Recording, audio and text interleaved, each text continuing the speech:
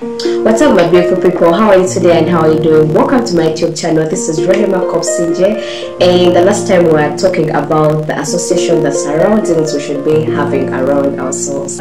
There's a lot that happens when we're influenced, though we take it as a light thing, but we're influenced by our surroundings, we're influenced by the music we listen to, we're influenced by people we talk to, people that surround us, we're influenced by the books we read, the movies we watch. It's a lot nature and there's a saying that says uh, tell me your friends and i tell you who you are if you interviewed or evaluated people in your lives and you saw that some people are really not leading you towards where you want to be in five years to come it's high time we do some cutting off when i started i like the same people normally say oh i think this friend of mine cut me off i think this friend of mine has broke me i think this friend of mine no longer wants to talk to me. Hey, if you're out there and you broke me or you cut me off, I really don't have any issue with that. As long as you did it for your own good and it's leading towards your personal growth, I don't have any issue. So if you're out there and you're among those people that are really cut off, and you feel like this friend of yours has cut you off, it's high time you just realize it is okay for people to do what is best for them. Because in five years to come i wouldn't want to be there and i'm the reason why you haven't had any growth. Hmm? Why you're not flourishing? Why you're not thriving? Just because i'm your friend. So waking up and you cut off some people it is okay. I've not said it's an easy thing. It's actually very very hard to bring being interacting with people and all of a sudden you have to choose to cut them off from your life or you have to choose to they associate or you have to choose to give them less time. You know it's not an easy thing to do. But if you really see that in your five to ten years to come where you're living right now with your friends is not where you would want to be. Then it's high time you just look through your list and see what you can do. Basically using these three things. One option is cutting them off. When i say cutting them off it's completely and also cut them off. They can be your friends, it can be your family, whoever you feel they're not leading. It's where you want to be. In five to ten years to come. It's high time you just find a way of cutting them off. Because at the end of the day, they wouldn't want to be there in 10 years and you're regretting why did I cut off this person?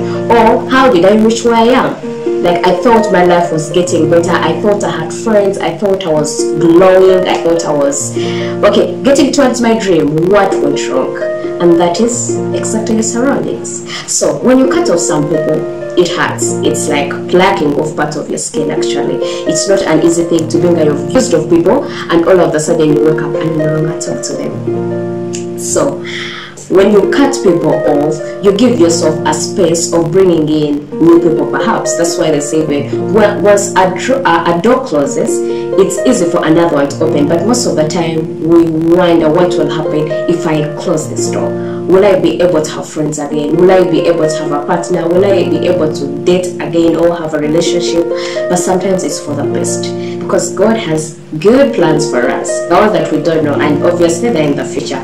So when you cut off people that is one option that you have another second option that you have is reducing on the communication with the people you're having okay? Having less interactions with the people you've been having okay? So if i used to meet let's say yvonne if i used to meet yvonne every day if i want to reduce how i'm doing it if i see that I, where I want to be in five years, if Yvonne may not lead me there.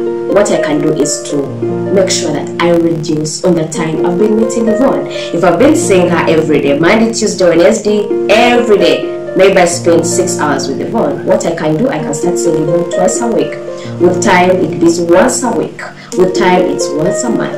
And before you know it, go cutting off my time and I'm concentrating on things where I want to be in five years to come. The time I used to give her, if it was six six hours every day, I can reduce it maybe to four hours a week.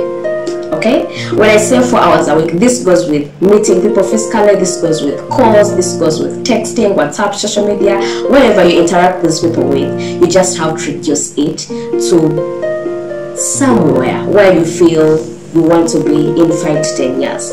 And what I would advise you to do is to make sure that you meet the right people. When I say meet the right people, is associate with people who are leading you to where you want to be, towards your passion, towards your your vision, who are leading you to exactly where you want to be. What are they telling you? Are they, are they compatible with where you want to be? Your dreams, your goals? Are they those people who motivate you? Are those people who influence you? Which business are you having with them every time you're with them? Do you feel you're challenged? Do you feel they say something and you're like ooh i think i should try out this. So the third thing you have to do is to keep the people that are leading you to where you want to go. That is your dreams that is uh, your goals. People who are pushing you people who are challenging you people who are motivating you people who inspire you every day people who encourage you. And these are the people they can be actually people who influence you positively, people who talk good for you. And when I say people talk good to you, sometimes it depends. Some people may be honest with the conversations they're having with you, which are actually bitter, like the bitter truth, but it depends how you take it in. Though it's also good to have people who criticize you because they push you harder if they say your business is not working very well, they push you harder to work towards that. But that depends on which level of growth are you on. Because if you know you're still trying to lift yourself up, it's not good to be having negative people around you. So that's why we say cut them off. But if your level of growth has upgraded, it is very, very okay for you to listen to those people who are giving you that negative attitude. Maybe they are the reason why you're going to upgrade your business, why you're going to go on the next level. Because if they say you can't do it, you come back to prove them I can actually do this. So you need people who are passionate towards what you're passionate to. If it's business, if it's reading books, if it's uh, maybe church, if it's um, anything that you're interested in. And after doing that, there's one thing that should be a reminder that while you're in this growth journey or that so-called hunting for friends i know it's very hard especially when you grow up. The more we grow the more we have less friends. Because people are engaged somewhere else. People have families people have jobs. You spend almost eight nine hours on your job. And in a week you have maybe a Saturday and a Sunday. Where do you find time to be interacting with everyone? So find people who are in your league of what you want to be in five or ten years to come. And we have talked about passion. Another thing you have to consider is are they vulnerable enough for you? If I'm choosing a friend, are they vulnerable enough for me? Do I feel so risky to tell them my secret, to tell them what I'm going through, to open up to them? If you're not vulnerable enough to say anything towards those people, then you should have a variety of friends to know that if I want business, I go to this person. If I have an issue, I go to this person. If I want a problem solving technique, I go to this person. If I want to have some fun, I have a category of people where I go. If I want to relax my mind, there's somewhere I go. If I want to be motivated, inspired, there's some YouTube channel I go to, or there's some person I talk to. So when we say a variety of people, still this is towards your dreams, towards your goals. Okay? Okay you to say okay? Right our friends who are vulnerable whom you feel free to tell your darkest points. That you're not limited. You don't feel shy or you don't feel they will judge you or you don't feel they will actually intimidate you or they want to give you a solution. Okay? So don't let yourself have just one category of friends. Have enough of them but know the category you're having okay? And another thing you should be even having friends while you're looking for your friends make sure you have accountability friends whom you can rely on. If i tell you i've started this project can you push me harder to go on with my project? Can you keep finding out how far with my project? Hmm? those are the people we should be looking for. That every time you're looking for accountability and you know who to go to you know this person is going to keep pushing me this person is going to keep asking me. You told me you're going to start this project. What happened? You told me you're going to do this maybe let's say this uh, business. What happened? You haven't started. So when someone pushes you or finds out you're accountable to them to give them that feedback okay? And that will lead you for not giving excuses every now and then. So make sure that the friends you're having they're very very well listed. Another thing i will tell you while you have gotten those new friends or the new association please make sure that you know that people you're joining all the friends you're making the new friends you're trying to make maybe they already have a well established circle so you're trying to just penetrate in. You're just trying. So be patient. Be patient enough to know that the new category or the new people you're joining they already had a circle. So when someone doesn't pick your calls or don't text back in time, don't be so mad to be like, why would this person text me? I thought she's my friend. I thought we just got in touch. I saw her as a friend and now she's not texting me back or she's not picking my call. People are busy. People always have something they are going through that you may not know on a daily basis. So it's not always about you, okay? It's not always about you that every time you have to do something or you're to reach out someone, they should get back to you as soon as possible. Maybe they have family issues, maybe it's work related, maybe it's, you know, be patient with people, the new people that you're meeting and be intentional. When I say be intentional, make sure that you're looking for the right friends who are leading you somewhere. Which friends do you want? Do you want friends for fun? Do you want to date for fun? Or you just want to have the next level. By the time you say we're cutting off, then we're reducing on the time we've been spending with them. This means that actually where we are leading to like we're saying there. Okay? you know your friends more than me. I can't come here and I start uh, dictating for you what to do for your friend A or friend Z. You know this friend is this kind of a friend, okay? And when you know your friends, it's so easy for you to know how to handle each and everyone when you know their strength and their weakness okay? That when i know this friend this is her greatest weakness will know how to handle when the weakness comes. If I know maybe this person is not so good at making calls, but you know maybe they are good at face committing. If you know it's a business or it's something that is really so important, then you make a call and do your appointment, whether it's one week before or two weeks before. So know what works for each and every person that you're surrounding because our success depends on who is surrounding us. What are they making us watch? Hmm? Are they also telling you the latest movies? Okay are they watching documentaries? Are they watching personal involvement things? What exactly do they make you watch? What exactly do they make you think? What exactly do they make you do? Where do they take you? Because like we said, people are surrounding you, they have a great impact. If they go in the bar, you'll be in the bar. If they go to church, you'll be in the church.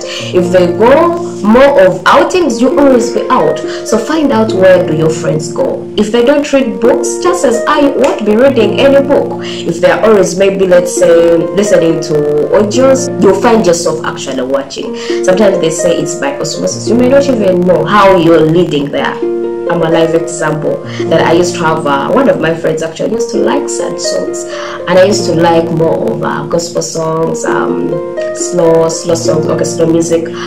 And some I never had sad songs in my music folders. I never had any folder.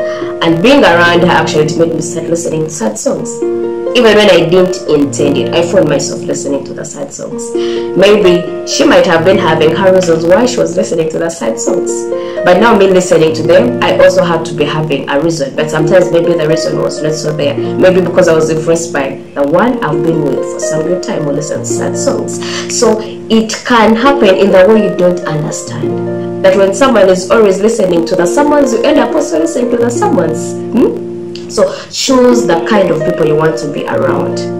My future in 10 years to come, I don't think I should be having this kind of lifestyle. Okay? So look around, see people with their lifestyle. Do you like their lifestyle? Yes. If you don't like their lifestyle, then be like, hold on, hold on. Nah, nah. I have to think about this. I have to think twice before I make this decision. Okay?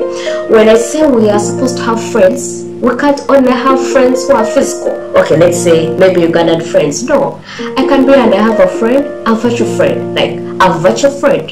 YouTube has very many people who can be your friends. You may not meet them, you may even not know them, they may even not know you, but they have data out there that benefits you each day, that feeds your soul, that stirs you, that every time you listen to someone, you're like, oh, you're feeding my soul, you're inspiring me. So it's not always about I know you, you know me. No, we can have virtual friends, and that is very, very okay. So choose people you follow.